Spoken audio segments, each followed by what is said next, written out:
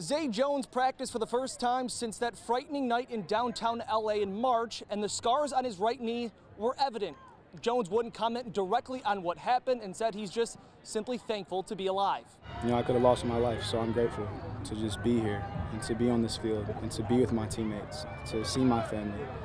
Um, I, I don't think there's any other word that describes it. The moment was very traumatic for me and my family, and to rehash that now at this point in time wouldn't be doing me any good. Sometimes, you know, life's going to knock you down, or things are not going to go the way that you planned or hoped.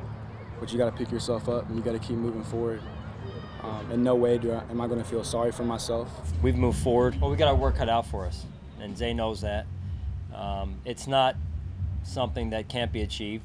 Um, we just got to continue to work. I haven't stayed the same or gone back to where I was. I progressed and gotten better as a person, as a human being, and as a football player. When asked if he would be ready for week one, Jones says he's not thinking that far ahead and simply said he's focusing on making sure his knee is ready for tomorrow's practice.